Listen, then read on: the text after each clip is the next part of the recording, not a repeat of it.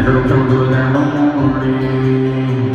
So addicting I can't get enough She gets for work, grabs her keys and she leaves Yeah, that goodbye kiss kills me,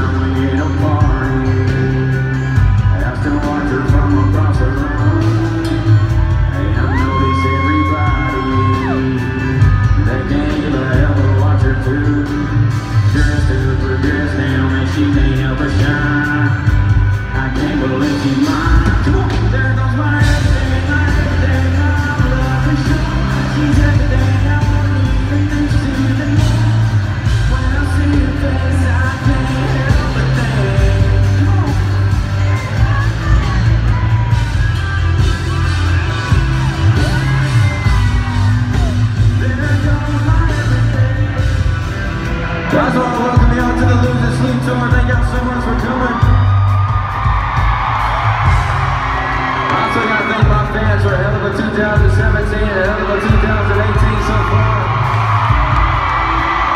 Well, past my expectations. I won't be here without y'all, so thank you guys so much. I don't know if y'all know this. And I don't want to jinx it, but if you look at the real time today on the country charts, we got the number one song.